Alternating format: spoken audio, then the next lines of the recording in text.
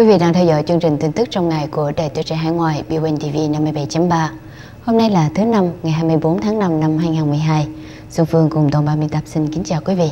Sau đây xin mời quý vị theo dõi phần tin tức thế giới trong ngày của Đài Tuổi Trẻ Hải Ngoại. Kính thưa quý vị, Tổ chức Ân xá Quốc tế tố cáo Hội đồng Bảo an không kiểm soát được tình hình tại Syria. Tin từ London, Tổ chức Ân xá Quốc tế trong bản báo cáo hàng năm ngày hôm nay đã lên tiếng chỉ trích Hội đồng Bảo an Liên Hiệp Quốc đã tỏ ra mệt mỏi và ngày càng không thể kiểm soát được tình hình và bảo đảm được mục tiêu đã đề ra đối với tình hình tại Syria. Báo cáo thường niên của Ân xá Quốc tế khẳng định sự thất bại của các cường quốc đối với Syria là bằng chứng cho thấy Liên Hiệp Quốc luôn bị những lợi ích riêng đe dọa. Ngoài ra, tổ chức này cũng cảnh báo về vấn đề phát sinh từ cuộc khủng hoảng kinh tế châu Âu. Theo Liên Hiệp Quốc, ít nhất 9.000 thường dân đã bị sát hại tại Syria kể từ khi cuộc nổi dậy vào hồi tháng 3 năm ngoái. Ân xá quốc tế cho rằng Liên Hiệp Quốc đã không hoàn thành nhiệm vụ của mình để giải quyết nhanh chóng và có hiệu quả tình hình Syria theo hướng bảo vệ hòa bình và an ninh quốc tế. Tổng thư ký Ân xá quốc tế ờ, Salin Shetty cho biết Hội đồng Bảo an Liên Hiệp Quốc cần được cải tổ, trong đó không cho sử dụng quyền phủ quyết trong các trường hợp vi phạm nhân quyền. Ông Seti nói, tình hình tại Syria là một bi kịch sống mở ra trước mắt.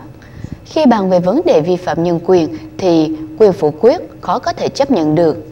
Hiện tại đã có khoảng 260 quan sát viên Liên Hiệp Quốc tại Syria, nhưng tình hình chưa đạt được tiến bộ nào đáng kể. Đối với tình hình thắt lưng buộc bùn tại châu Âu, Liên Hiệp Quốc cũng có liên đới. Theo tổ chức này, nói rằng Liên Hiệp Quốc phải bảo đảm rằng các quyền cơ bản của kinh tế xã hội không bị ảnh hưởng, đặc biệt là những người nghèo nhất trong xã hội. Thật không may, nhân quyền đã bị phớt lờ trong các biện pháp kinh tế khắc khổ hiện nay. Ngoài ra, ân xá quốc tế cho biết một số các nước châu Âu và Hoa Kỳ đã sử dụng vũ lực quá mức để dập tắt tình trạng bất ổn.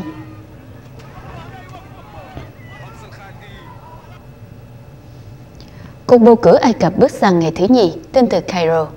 Cuộc đầu phiếu tiếp tục tại Ai Cập trong cuộc bầu cử tổng thống lịch sử, nói chung là cuộc tranh đua giữa các ứng cử viên Hồi giáo và các ứng cử viên ủng hộ chế độ thế tục xuất thân từ thành phần bảo thủ trong chính quyền của cựu tổng thống Hosni Mubarak. Chính phủ Ai Cập ngày hôm nay tuyên bố một ngày lễ để cho phép dân chúng có thêm thời giờ để đi bỏ phiếu, nhưng các quan sát viên cho rằng tỷ lệ đi bỏ phiếu ở vùng thủ đô Cairo dường như thấp hơn trong ngày hôm nay, ngày thứ nhì và cũng là ngày cuối cùng trong cuộc bỏ phiếu. Tại một phòng phiếu mà vào ngày hôm qua, nơi các cử tri đã xếp hàng vòng quanh cả một dãy phố để bỏ phiếu, thì ngày hôm nay số cử tri có thể đếm được trên đầu ngón tay. Dường như đa số các cử tri đã đi bỏ phiếu ngày hôm qua.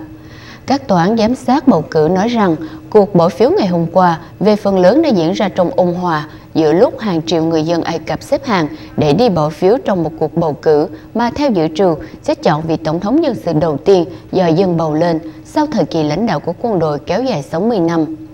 Cuộc bầu cử được tổ chức 15 tháng sau khi Tổng thống Mubarak từ chức sau các cuộc biểu tình rầm rộ của công chúng. Trong thời gian dẫn tới bầu cử, các cuộc thăm dò không mấy khả tính đã dao động mạnh giữa lúc 4 trong tổng cộng 12 ứng cử viên thay phiên nhau chiếm các vị trí dẫn đầu. Hai ứng cử viên thuộc phe thế tục đều là những người đã từng phục vụ trong chế độ của Tổng thống Mubarak. Một người là cựu Thủ tướng Ahmed Shafik và người kia là cựu Bộ trưởng Ngoại giao, ông Al Musa. Các ứng cử viên Hồi giáo là ông Mohamed Morsi, thuộc tổ chức huynh đệ Hồi giáo đầy thế lực, và ông Abdel Fotu là một nhân vật có lập trường ôn hòa với cương lĩnh chính trị bao gồm mọi thành phần đã giúp cho ông chiếm được sự ủng hộ của một số thành phần cấp tiến, khuynh tả và một số thiểu số theo cơ đốc giáo. Người dân Hy Lạp vui mừng trước sự ủng hộ của Liên minh châu Âu, tên từ Athens. Sáng nay, người dân Hy Lạp nói họ hoan nghênh sự hỗ trợ của Liên minh châu Âu với hy vọng rằng Hy Lạp sẽ được cho thêm thời gian để hoàn thành một phần của thỏa thuận giải cứu. Sau gần 6 giờ đàm phán được tổ chức trong một buổi ăn tối hôm qua, các nhà lãnh đạo Liên minh châu Âu cho biết họ đã cam kết làm tất cả những gì có thể để giữ Hy Lạp lại trong khu vực đồng euro, nhưng cũng đã đòi hỏi Hy Lạp phải thực hiện những cắt giảm ngân sách đã đồng ý, một đòi hỏi gây khó khăn nặng nề cho người dân Hy Lạp. Hầu hết các cư dân được hỏi trong cuộc thăm dò tại Athens cho rằng đòi hỏi của Liên minh châu Âu là công bằng và hy vọng các nhà lãnh đạo châu Âu sẽ cho quốc gia này thêm nhiều thời gian hơn để thực hiện đầy đủ các nghĩa vụ của mình. Ông Kasvilis, 65 tuổi, một người đã về hưu, cho rằng Hy Lạp nên làm những gì đã hứa hẹn. Tuy nhiên, ông không biết điều này sẽ đưa đất nước đi đến đâu.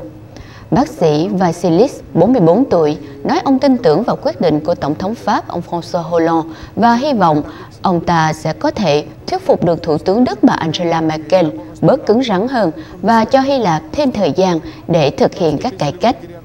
Giáo sư đại học ông Anastasio cho rằng những yêu cầu của Liên minh châu Âu rất bình thường bởi vì khi các nước này đã hỗ trợ tài chính cho Hy Lạp thì họ sẽ có những đòi hỏi bởi vì không có gì miễn phí. Tuy nhiên cũng có một số người không thấy có bất kỳ tin tức tốt nào trong báo cáo sau hội nghị thượng đỉnh Liên minh châu Âu vì đã không có gì thay đổi. Ba quan chức của Hy Lạp đã cho thông tấn xã Reuters biết là yêu cầu của Liên minh châu Âu để có những kế hoạch cho việc Hy Lạp rút khỏi khu vực đồng euro đã được đồng ý vào hôm thứ Hai trong một buổi thảo luận của các chuyên gia kinh tế làm việc cho Bộ trưởng Tài chính khu vực đồng euro.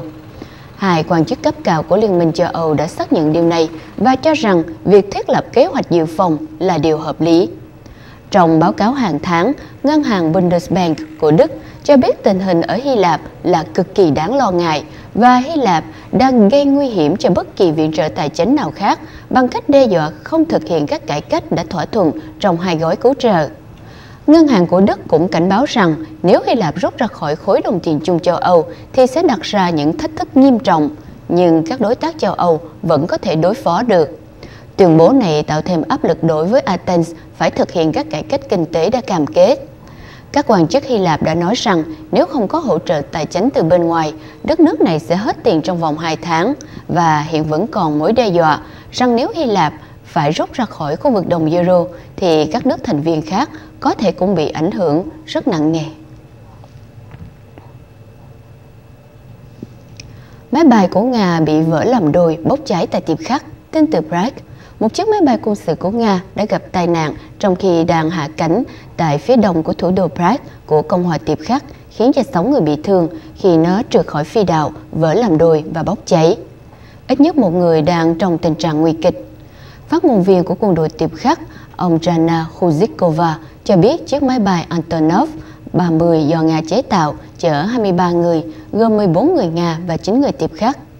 Phát ngôn viên của Bộ Quốc phòng Nga, Đại tá Igor Konashenkov cho biết cả khi càng hạ cánh trước đã bị gãy khi máy bay đụng đất, nhưng bà Khuzikova đã bác bỏ thông tin này. Những hình ảnh phát trên truyền hình tiệp khắc cho thấy máy bay đã bị vỡ ra làm đôi và bốc cháy. Bà Khuzikova cho biết 5 người Nga và một công dân tiệp khắc đã bị thương, phần lớn là điều do bị phỏng. Một công dân Nga đã bị phỏng đến 20% cơ thể và đang ở trong tình trạng nguy kịch. Theo lời của bà Hanna Franova là phát ngôn viên của bệnh viện Vinoradi ở thành phố Prague cho biết. Tai nạn xảy ra tại căn cứ không quân của tiệp khắc ở Kaslav, cách thủ đô Prague 32 cây số về phía đông. Lúc bấy giờ, chiếc máy bay đang thực hiện một sứ mệnh trong khuôn khổ hiệp ước bầu trời mở, cho phép thực hiện các chuyến bay giám sát lãnh thổ các nước tham gia vào hiệp ước, trong đó có các thành viên NATO, Nga và các nước khác. Hiện một quỹ ban quân sự tiệp khắc đang điều tra vụ tai nạn này. Tàu ngầm hạt nhân của Hoa Kỳ bị bốc cháy, tên từ Portsmouth.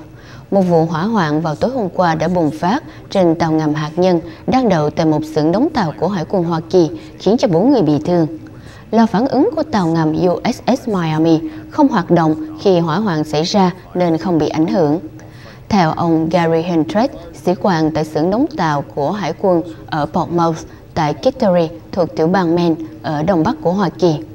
Lửa cháy trên tàu ngầm trong ít nhất 6 giờ đồng hồ sau khi bùng phát và tập trung ở các khu vực sinh hoạt và điều khiển trên tàu. Hơi nước bốc lên tại hiện trường vụ cháy do sức nóng của ngọn lửa cùng với các nỗ lực cứu hỏa. Phát ngôn viên Hải quân Hoa Kỳ là sĩ quan Major Vasquez cho biết chiếc tàu ngầm tấn công được đưa vào xưởng cạn để bảo dưỡng theo kế hoạch định kỳ. USS Miami có thể mang các hỏa tiễn hành trình Tomahawk và ngư lôi Mark 48. Tuy nhiên không có vũ khí nào ở trên tàu ngầm khi ngọn lửa bùng phát. Sĩ quan Hinder cho biết có 4 người đã bị thương trong vụ cháy, một người đã được chữa trị và cho rời khỏi hiện trường, ba người khác đã được đưa tới một cơ sở y tế và sau đó cũng đã được cho về nhà. Một nguồn tin khác cho biết ít nhất 6 người đã bị thương trong khi cố gắng dập lửa. Nguyên nhân của vụ hỏa hoạn vẫn chưa được làm rõ. Một cuộc điều tra sẽ được tiến hành để làm sáng tỏ điều này. USS Miami là tàu ngầm tấn công hạt nhân thứ năm thuộc lớp Los Angeles. Tàu có 13 sĩ quan và 120 binh sĩ. Đây là chiếc tàu thứ ba của quân đội Hoa Kỳ được mang tên thành phố Miami thuộc tiểu bang Florida. USS Miami bắt đầu hoạt động vào ngày 30 tháng 6 năm 1990. Vừa rồi là phần tin thế giới trong ngày của Đài Tiếng Trẻ Hai Ngoài. Xin quý vị đồng sơn màn hình, sau một vài thông tin thương mại, Xuân Phương sẽ trở lại với phần tin Á Châu.